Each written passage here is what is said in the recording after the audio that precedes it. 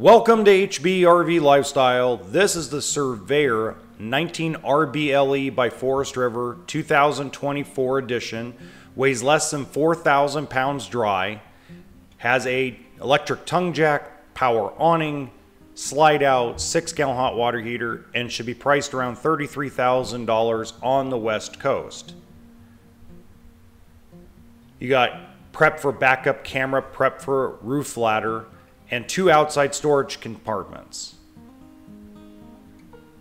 Walking in, you're going to notice it has central vacuum, furnace, the normal stuff that a surveyor will have, booth dinette, big pantry. And do keep in mind, the booth dinette does turn into a bed. So if you're a first time RVer, normally your dinette and your couches will turn into beds. They went to the 12 volt refrigerator, one piece sink. And last year, they gave you four drawers. Now they're only giving you three. They also give you a convection microwave instead of an oven, two burner stove. But what's missing?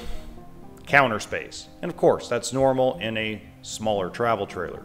Walk around queen bed with two wardrobes and plenty of cabinets above your head and windows in each side. So we can't have everything in a 23 foot total length travel trailer, but we can get pretty close, right? Walking into the bathroom, this is what takes the majority of the space is the big shower and the big cabinet inside the bathroom for your linens and additional closet space. Now what's really cool is if you take a look in the top right hand corner, Click there and you will see another walkthrough video on a small travel trailer.